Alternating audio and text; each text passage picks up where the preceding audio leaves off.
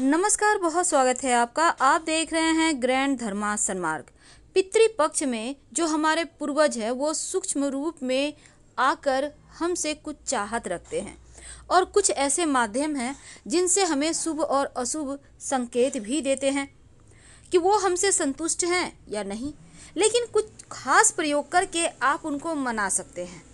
छोटे से कार्य उनको संतुष्टि देती है। पितृपक्ष चल रहा है। और यह समय बहुत ही शुभ माना जाता है, क्योंकि इस समय में आप पूर्वज जो हैं आपके, अपने परिजनों के यहाँ आते हैं और उनको आशीर्वाद भी देते हैं। शास्त्रों में पितृपक्ष को लेकर कई बातें बताई गई हैं। इन दिनों में सुबह जल्दी उठना चाहिए और अगर आप छोटे छोटे कार्य करें तो ऐसे में आपके माता पर, जो माँ लक्ष्मी है, उनका आशीर्वाद तो बरसेगा ही। पितृदेव भी प्रसन्न होते हैं और आशीर्वाद देते हैं। तो आप कुछ करें या ना करें, लेकिन छोटे छोटे प्रयोग ज़रूर कर सकते हैं। जैसे कि सुबह सुबह सबसे पहले अपने घर के मुख्य दरवाजों को जल में एक चुटकी हल्दी मिलाकर धो दें। सुबह अर्ली मॉर्निंग उठते ही। याद रखिए, जैसे ही आप सुबह उठते हैं, पहले, झाड़ू लगाने के पहले, दरवाजे से घर से बाहर निकलने के पहले, जो घर का मेन व्यक्ति है या कोई भी व्यक्ति जो सबसे पहले उठा, वही ये काम कर ले। एक बाल्टी में या मग में, लोटा में पानी ले लें। एक चुटकी हल्दी डालें और दरवाजे को धो दें। ऐसा करने से आपके घर में, देखिएगा, बरकत होगी, आपकी उन्नति होगी, कभी धन की कमी नहीं होगी। साथ ही परिवार के सदस्यों के बीच प्रेम बढ़ा रहता है, धन आता रहता है। दूसरा, जो पक्षी हैं, उनको आप दाना डालें। लेकिन एक बात याद रखिएगा, बहुत सारे लोग छत पे दाना डाल देते हैं, आप ऐसा ना करें। आपने छत पे दाना तो डाला, लेकिन अगर कबूतर आ गया चुगने के लिए तो फिर यहाँ पर राहु एक्टिव हो जाएगा, फिर जीवन में परेशानियाँ बढ़ जाएगी। इसलिए पंछियों को दाना छत पर ना डालकर आप आँगन में अगर घर का आँगन है तो नहीं तो किसी भी पेड़ के नीचे डाल दें। पितरों को भी अच्छा लगेगा, शांति आएगा, ईश्वर का भी आशीर्वाद मिलेगा, माँ लक्ष्मी की कृपा बरसेगी, धन की मुश्किलें दूर होगी। पितृपक्ष में ही नहीं, बल्कि अन्य दिनों में भी आप एक मिट्टी के बर्तन में आप या फिर किसी भी चीज़ में आप जल भरकर कहीं पर भी साइड में रख दिया करें। चिड़िए चिड़िया लोग जो होता है, पंछी लोग, वो लोग जल पिएँगे कोई जानवर जल पिएगा, इससे आपकी आपको आशीर्वाद देगा। तो आपकी स्वास्थ्य की समस्याएँ, बाधाएँ भी समाप्त होगी और पितरदेवों को भी अच्छा लगेगा, उनको मुक्ति मिलेगी। वैसे तो पितृपक्ष में एक नियम बना लें कि हर रोज़ गाय और कुत्ते को ज़रूर खाना दें। कुत्ते या गाय, दोनों में से जो भी आपके दरवाजे पर आए, ज़रूर खाना दें। ऐसा करने से कभी धन, घर में धन धान की कमी नहीं होती। और जो परेशानी है, जो दैत्य है, जो गरीबी है, कुंडली में जो पितृदोष है, वो भी समाप्त हो जाते हैं। लेकिन पितृपक्ष में जब आप हर रो, हर रोज सूर्य को जल देंगे, ये बहुत ही शुभ कार्य है। और सूर्य को जल दे देते समय जल में आप एक चुटकी हल्दी डालकर अर्पित करें। और साथ ही सूर्य को जल देने के बाद दक्षिण दिशा की ओर मुँह करके पितरों का ध्यान करते हुए जल दे।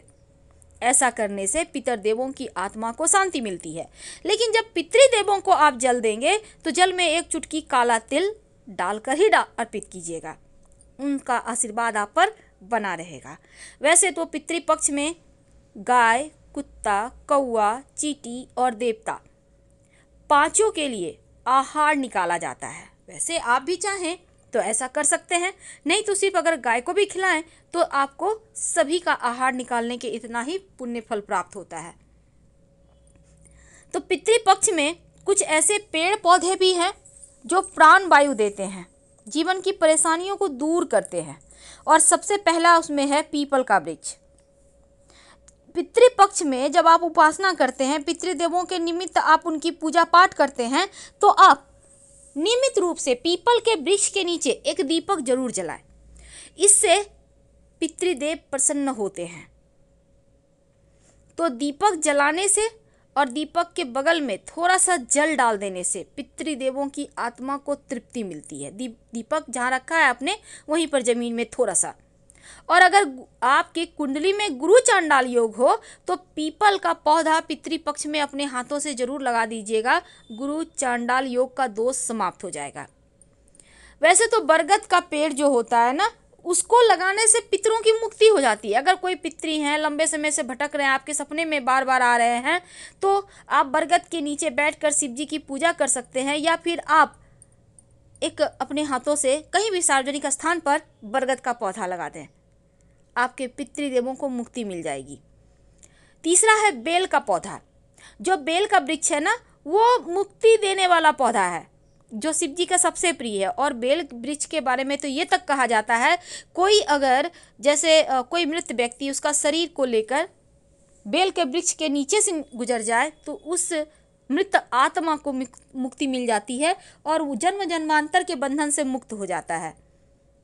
तो पितृपक्ष में अगर आप बेल का वृक्ष अपने हाथों से लगा दें तो अतृप्त आत्माओं को शांति मिल जाती है। तो बेलपत्र का पेड़ ज़रूर लगाएँ। चौथा है अशोक का पेड़। कहते हैं जहाँ अशोक का पेड़ होता है, वहाँ दुख, तकलीफ़, शोक हो ही नहीं सकता, आ ही नहीं सकता। और अगर अपने घर के मुख्य दरवाजे पर लगा लें पितृपक्ष में तो घर का भारीपन समाप्त हो जाएगा, घर में सुख समृद्धि, बरकत बढ़ी जाती है। तुलसी का पौधा। ऐसा कहा जाता है कि तुलसी का एक पत्ता बैकुंठ तक पहुँचा सकता है आपको। तुलसी का जो पौधा है तो पितृपक्ष में अगर आप तुलसी का पौधा लगाते हैं तो पितर देवों को भी निश्चित रूप से उनको मुक्ति मिल जाती है, मोक्ष मिल जाती है, उनको तृप्ति मिलती है। और अगर तुलसी का पौधा घर में फले फूले तो घर में अकाल मृत्यु की नौबत कभी नहीं आती। तो कुछ ऐसी चीज़ें हैं, जिनका घर में होना अपने आप में संपूर्णता का प्रतीक है। अपने आप में जीवन को खुशियों को बढ़ाने का प्रतीक है। तो बरगद, पीपल बिलपत्र, अशोक और तुलसी। अब दूसरी तरफ़, देखिए वैसे तो बहुत सारे नियम हैं, लेकिन नियम उतने लोग मानते नहीं, क्योंकि दुनिया आधुनिक हो रहा है। पर अपने हाथों से अगर पौधे लगा दें तो कोई हानि भी नहीं है, आप ज़रूर लगाएँ।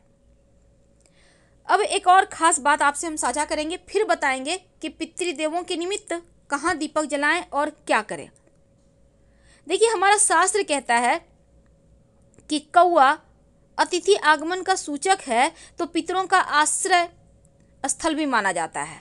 और श्राद्ध पक्ष में कौआ का बहुत महत्व है, क्योंकि कौओं को भोजन कराना, अर्थात अपने पितरों को भोजन कराना, एक ही बात है, क्योंकि आत्मा एक कौए के शरीर में स्थित होकर विचरण करती है। गरुड़ जी महाराज, वैसे तो भगवान श्रीहरि के वाहन है और भगवान गरुड़ के नाम पर ही गरुड़ पुराण है, जिसमें श्राद्ध कर्म स्वर्गलोक पितृलोक आदि का भी उल्लेख है।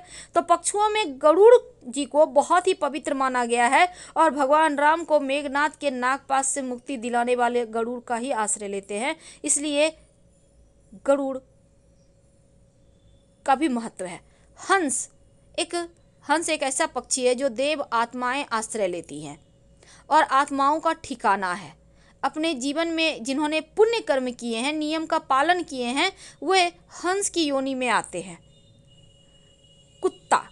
जो कुत्ता है, वो यम का दूत माना जाता है। कहते हैं इसके माध्यम से जो वस्तुएँ हैं, ईश्वर माध्यम से वस्तुएँ नज़र आती है। दरअसल कुत्ता एक प्राणी है। भविष्य में होने वाली घटनाओं और ईश्वर का माध्यम जो की आत्मा है, उसको देखते हैं। लेकिन दूसरी तरफ़ गाय। जो देवी देवताओं का निवास स्थान है, क्योंकि देवी देवताओं का सभी निवास स्थान गाय में ही माना गया है। हाथी, वैसे तो हिंदू धर्म में भगवान गणेश साक्षात रूप माना गया है, इंद्र का वाहन है तो हाथी को पूर्वजों का प्रतीक भी माना जाता है। क्योंकि जिस दिन किसी हाथी की मृत्यु हो जाती है, उस दिन उसका कोई साथी भोजन नहीं करता और हाथियों को अपने पूर्वजों की स्मृतियाँ रहती है। या तो चलिए जानते हैं कि वो दीपक कहाँ जलाएँ पितृदेवों के निमित्त। देखिए, एक दीपक सरसों के तेल का उसमें एक चुटकी काला तिल या काली उड़द डाल दें। और इसको, और इसके साथ ही आपको चाहिए होगा एक बर्तन में, पात्र में पानी और एक पात्र में सफ़ेद मिठाई या मीठी वस्तु। अब इसको लेकर अपने घर की छत पर चले जाएँ। अगर छत नहीं है, आपका खुद का फ्लैट में रहते हैं तो घर से बाहर निकले बाउंड्री वाल में कहीं भी बाहर निकल के साइड में रख दें। कैसे रखेंगे? दीपक का लौ दक्षिण दिशा की ओर होगा। पास में पानी रखें और जो आपने मिठाई रखा है उसको रखें। अगले दिन सुबह अगर किसी पंछी ने खा लिया है तो अच्छी बात, नहीं खाया है, अगर आप छत पे रखते हैं तो पानी को पौधे में डाल दें। जो मिठाई है अपने अर्पित की है, उसको किसी जानवर को खिला दें और जो दीपक है, कहीं मिट्टी में दबा दें। अगर आपने घर से बाहर निकाल के किया है तो कोई जानवर तो खा ही लेगा, लेकिन अगर पड़ा हुआ है तो यही प्रक्रिया वहाँ भी दोहराइए। आपके पितृदेवों के निमित्त ये चीज़ें हैं तो उनको संतुष्टि मिलेगी, आप उन्हें याद कर रहे हैं। और पितृपक्ष में कोई भी भिखारी आपको मिल जाए, कुछ मांगे, उन्हें कम से कम खाने की वस्तु ज़रूर दें। हर हर महादेव हम फिर मिलेंगे।